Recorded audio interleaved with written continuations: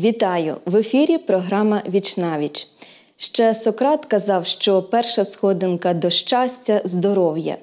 І як багато важать ті, хто допомагають нам бути здоровими. Їх називають білими янголами, рятівниками, лікарі. Їм довіряємо своє життя. І, напевно, найбільше визнання для лікаря народне звання хороший лікар. Таким є і хірург з багаторічним стажем, флеболог Валерій Гринчук. Сьогодні гість нашої програми. Вітаємо у нашій студії. Доброго дня. Е, Тож почнімо з того, як обрали професію лікаря. Чи це було е, за знаком долі, ви до цього готувалися, чи це просто якийсь випадковий вибір? І де навчалися? Ну, я не маю, не можу сказати, що в мене є династія е, в сім'ї. Е, я з сім'ї лік... е, сільського вчителя. А професія лікаря, вона в ті далекі 70-80-ті роки завжди була престижною, поважалася в народі, як і зараз поважається. І е, в школу я закінчив золотою медаллю. І коли вже стало питання вибору професії по пораді свого батька, все-таки ми вибрали професію лікаря і ми вирішили поступати в медичний інститут. Поступив я е, в Тернопільський медичний інститут. Це було нелегко. Конкурс був досить великий, чотири людини на місце, але ось в 81-му році, далекому, я поступив до міста Тернополя в медінститут і вчився довгих шість років там. А чи пам'ятаєте свою першу операцію, де це було, як це було, і як взагалі розпочалася ваша професійна діяльність?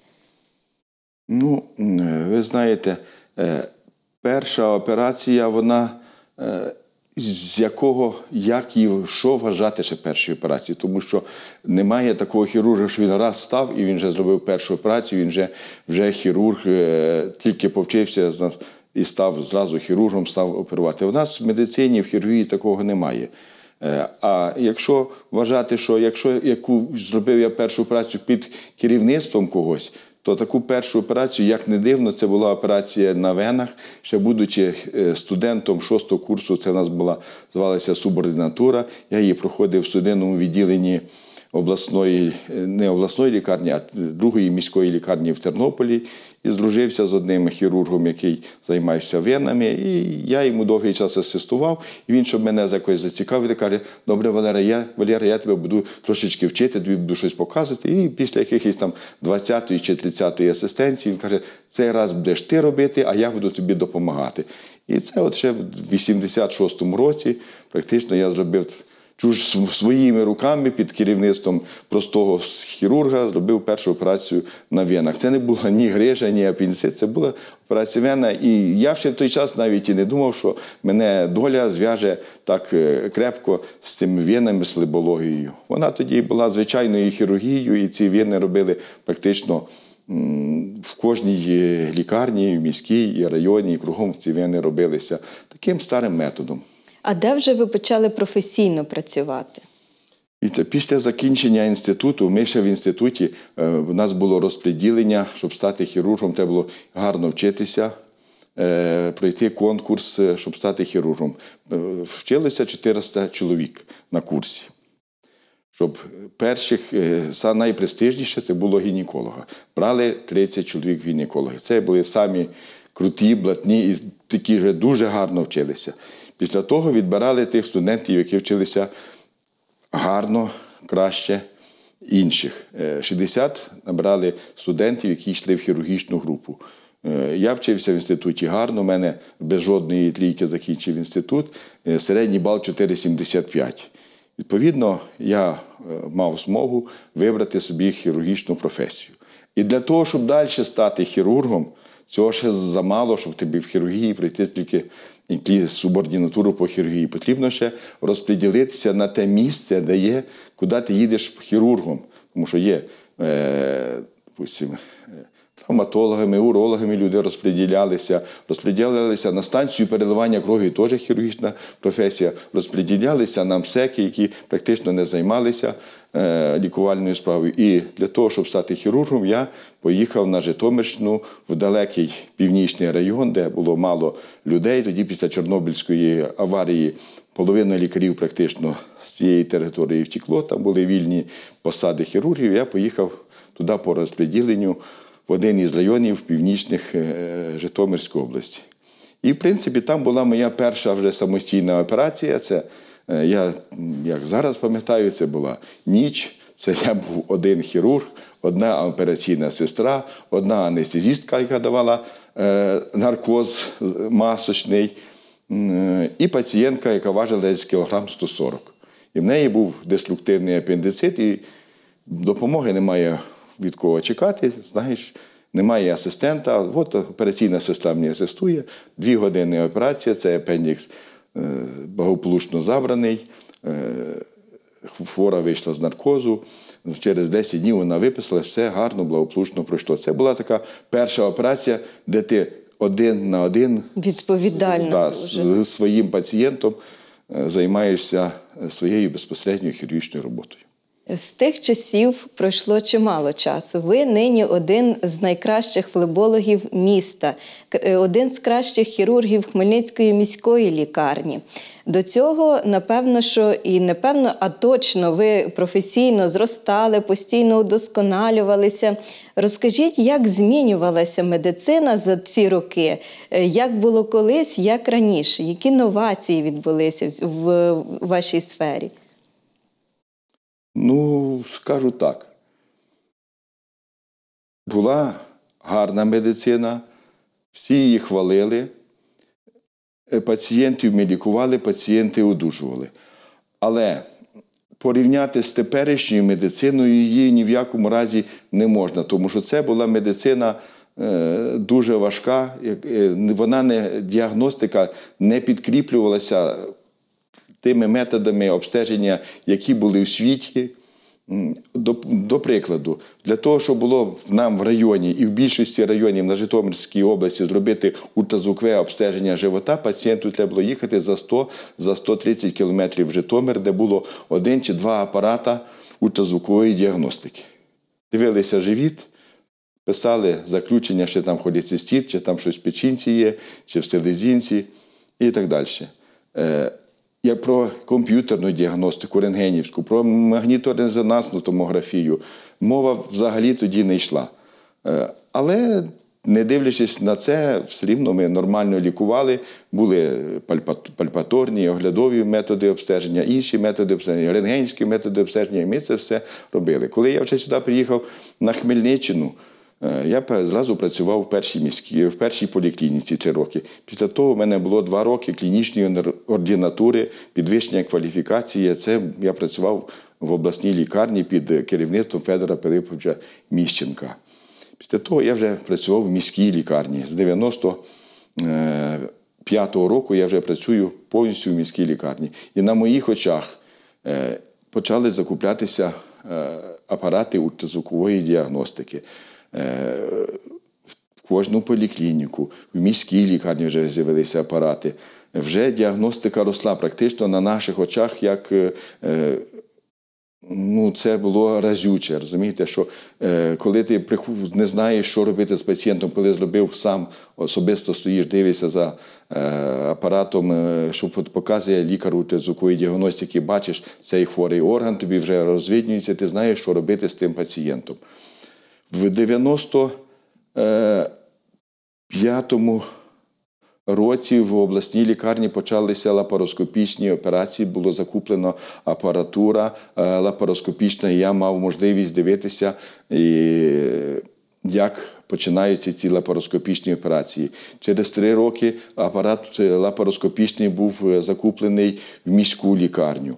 Почалися такі лапароскопічні операції, як холецистектомії, вирізання жовчного міхура. Це не було вже відкритих операцій, таких живіт не розрізався 30 сантиметрів чи чи вдоль, чи косим розрізом. Це було 4 розрізи. Це було разюче. Якщо сьогодні твій пацієнт, якого ти розрізав живота, е, через тільки декілька днів починає підніматися, а після лапароскопічної операції він ввечері вже стає, ходить, і через день він проситься додому, тому що в нього не болить. Це фантастично було. І люди йшли, люди вірили. е, І зараз їх дуже багато йде. Ми почали цю лапароскопію розвивати. Почали і грижі робити лапароскопічно, і меніски е, артроскопічно робити. Багато операцій вже почало робитися. І зараз все це ж з кожним днем розширюється діапазон цих лапароскопічних операцій. І навіть пухлини починають е, оперувати лапароскопічним методом, е, і підшлункову залозу оперуються. Дуже багато, практично половина, а навіть більше операцій робиться лапароскопічним методом без розрізання живота. Тобто прогрес колосальний. І те, що люди кажуть, що колись було краще, це надзвичайно велика помилка. Теперішня наша медицина, вона е, разючими кроками е, пішла вперед. Ну, на жаль, люди хочуть бачити більшого. Е, Часом кажуть, що за кордоном краще. Тепер повертаються за кордоном. Кажуть, ні, в нас набагато краще. З ними не згідний.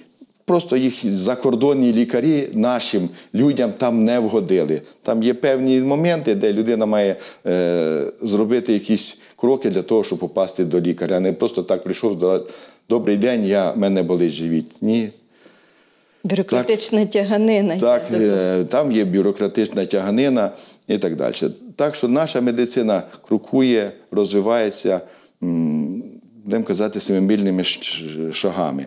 В 2010 році відносно вен, е, я вам розкажу, було закуплено міською владою е, ультразвуковий апарат для відділення малоінвазивної хірургії і лазерний апарат. І е, починаючи з 2010 року з кінця, я почав займатися, оцими операціями лазерними на венах. Операція називається ендовазальна лазерна абляція, коагуляція і так далі.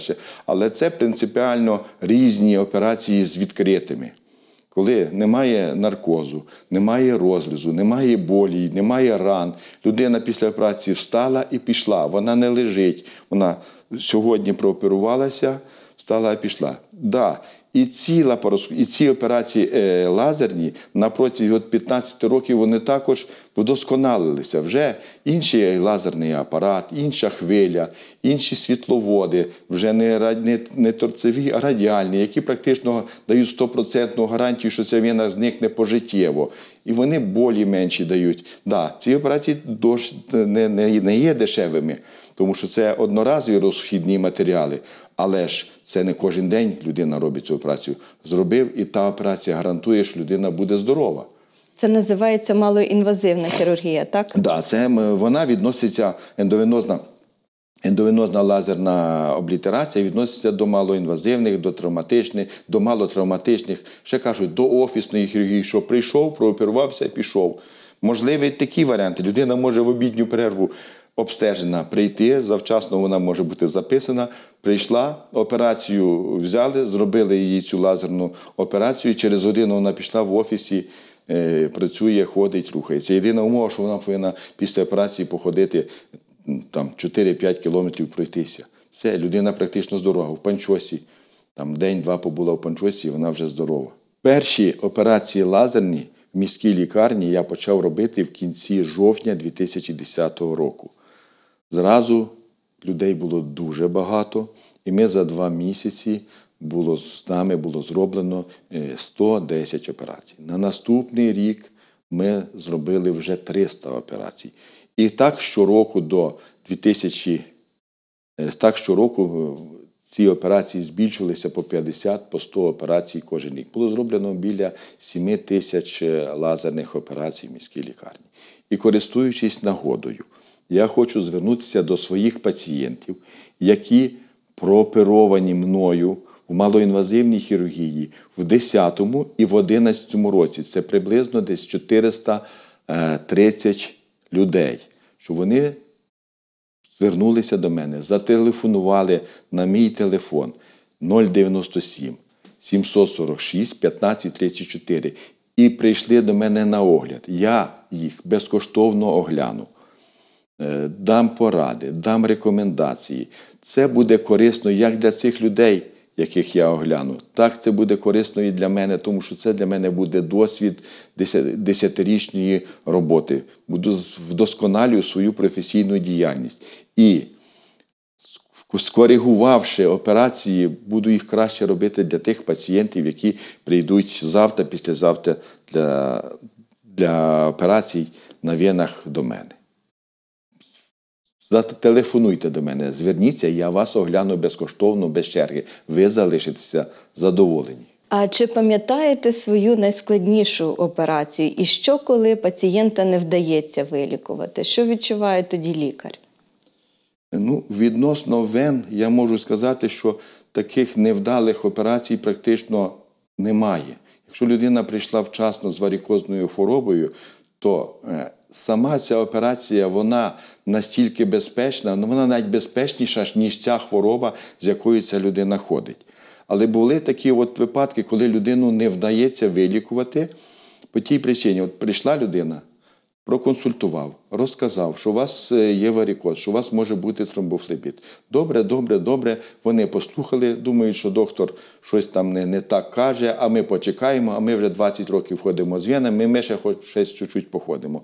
Приходять через місяць, через два, нога спухла, тромби з поверх, в поверхневих венах е, перейшли тромби на глибокі вени і з'явився так званий флеботромбоз глибоких вен. Це вже хірурги тут не допоможуть.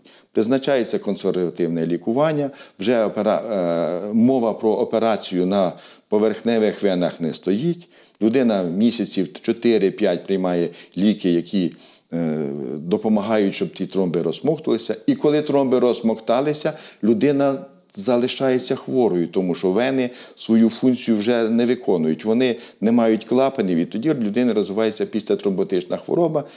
І вже тоді люди незадоволені кажуть, що лікар погано лікує, і до мене приходять інші пацієнти. Мої пацієнти йдуть до інших флебологів, запитують їх, а чого от в мене так, що, що я і пролікувався, і вроді і тромбів немає, а я не здоровий, бо нога товста, мені весь час стає гірше, потрібно ходити в панчохах.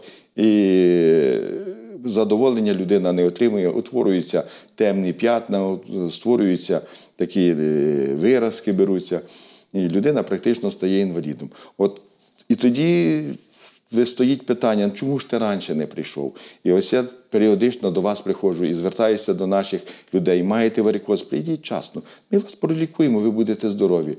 Не доводьте себе до таких, е, ну, будемо казати, фатальних випадків, тому що людина калікою стає. Коли тромби в глибоких венах взялися, практично вилікувати, щоб людина була абсолютно здоровою, неможливо. Такі випадки Робота хірурга це дуже важко, виснажливо. Наприклад, працювати в халаті, в масці, особливо якщо спека. Е, І операція може тривати довго, якщо це щось важке, якийсь важкий випадок. Як ви заспокоїте нерви, як налаштовуєтеся на роботу? Ну, е, 100 грам вина і коньяка ніхто з хірургів перед операцією не приймає, щоб заспокоїти свої нерви. Це тисячу процентів гарантія, що такого у нас немає. Але коли е, жарко, звичайно, дуже важко працювати. Наші операційні вони були спроєктовані ще в 60-х роках. І тих, е, цього кондиціонування повітря немає. В операційних жарко. Кондиціонери поставити в операційні звичайні також по санітарних нормах неможливо. Хоча наші операційні і мають північну сторону, все рівно жарко, важко. Ми стараємося або зранку оперувати, або кого, от, якщо є велика сильна жара, ми бачимо, що операцію плану можна відстрочити, ми її відстрочуємо е, з людьми. А кого треба оперувати? Що збираємося зі всіма своїми силами, нерви в кулачок, йдеш, оперуєш. А перед операцією я, в принципі, не є атеїстом і не є віруючим. Перед кожною операцією прийшов для того, щоб зосередитися 30 секунд помовчав, подивився, сказав, Боже, поможи цьому пацієнту. Стаю, оперую. Е, Все, що негаразди лишаються десь там, а тут зосереджується тільки на, на одному пацієнтові. І цих незручностей, цієї жари, цього поту практично не замічаєш, тому що, тому що ти повністю Зосереджений зосереджений на цій операції. Це не медитація, але ти зосереджений безпосередньо на операції. Ти не чуєш, що в стороні робиш. Виходиш з операційної вже о, мокрий, став, переодягнувся, витерся, прийняв душ йдеш знову до роботи. А в якісь прикмети вірите? Можливо, в хірургів є якісь прикмети, що буде, наприклад, успішна робота чи неуспішна. Звісно, що передусім на свій власний досвід покладаєтеся, але все ж. Ем, В першу чергу тільки на свій досвід покладаєшся, і, в принципі, можна спрогнозувати, чим закінчиться ця операція. І коли бачиш, що операція закінчиться гарно, вдало, що тут така ситуація, з якою ти справишся, тихо, спокійно йдеш, оперуєш. Коли замічаєш, що операція може закінчитися не так, як ти хочеш, в нас завжди є допомога наших колег. Береш досвідченіших колег, береш ще в асистенти е, іншого досвідченого свого колегу і стаєте разом і рішаєте, не, не думаєш не про свої амбіції, що я тут когось покликав, покликав, що е, моя гордість буде задіта, а думаєш в першу чергу про того пацієнта, щоб зробити йому найкраще. І коли зроблено з нашої сторони все правильно і вірно, то твоя совість чиста. Ми для цього пацієнта зробили все, що в наших силах. От зараз війна. Як ваша робота змінилася під час війни? Чи багато лікуєте військових? Так, з початком війни в нас поступають військові, вони вже е, проліковані, проліковані на перших етапах е, е, при фронтових госпіталях, а до нас вони поступають е, вже практично на доліковування. Е, Постійно в відділенні є е, наші військові. Їм допомога надається в першу чергу медикаментами і всім необхідним для них ми забезпечені. Єдине, що коли немає місць, е, то ми наших пацієнтів, які можуть е, в плановому порядку поступити, на декілька днів можемо відстрочити їхню госпіталізацію. Це буває досить рідко, е, але таке буває. І наші військові поранені, наші захисники, вони мають належний догляд, належну увагу. Вони доглянуті. Все робиться нормально, гарно, і практично ще ніхто від тих ран, з якими вони поступили, не помер. У нас помер в лікарні, напевно, що один пацієнт, але е, він не був ранений, він помер від звичайної соматичної хвороби, від гепатиту, помер від загострення хвороби печінки. Що до, до військових дій, що це не має практично ніякого відношення. А ті всі поранені практично всі одужують, повертаються е, назад війська. Менше про сумне. А як ви відволікаєтеся від своєї роботи? І чи маєте якесь хобі, якусь віддушину, щоб забутися трохи про хірургію, про операції? Розумієте, е, напевно, що в кожного хірурга є в житті якісь перекоси. І в мене ці в житті перекоси не в сторону якихось хобі, не в сторону відпочинку, а ці перекоси в сторону моєї професійної діяльності, в сторону цієї хірургії, в сторону цієї флеблогії. У мене є багато дома удочок. Я колись любив і зараз не проти поїхати порибалити. Раз в рік я виїжджаю на рибалку, коли кличуть мої друзі, і то я сиджу з ними на березі річки, не ловлю цієї риби, а просто ми з ними спілкуємося. У мене є рушниця вже 10 років. І я, вона один раз стріляла на пристрільці, коли я її придбав. Ні разу я не був на полюванні. Не маєте часу Для на цього в мене немає часу. В принципі, оця флеблогія це і є моє хобі.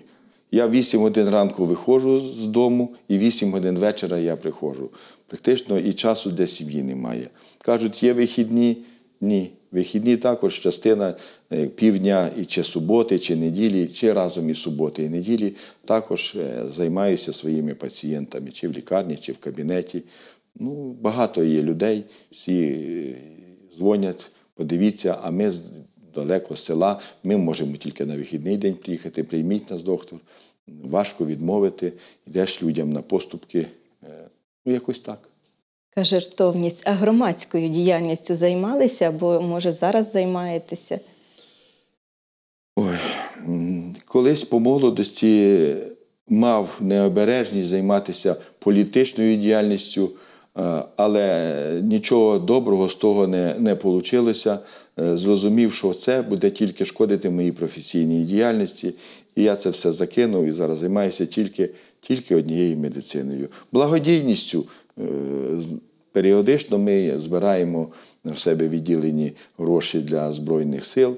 Інколи я своїх пацієнтів, які кажуть, доктор, як вас віддячити? Кажу, та мене не треба віддячувати. Ви, е, якщо ви вважаєте, що, що треба медицину віддячити, перерахуйте гроші на Збройні сили і, і все.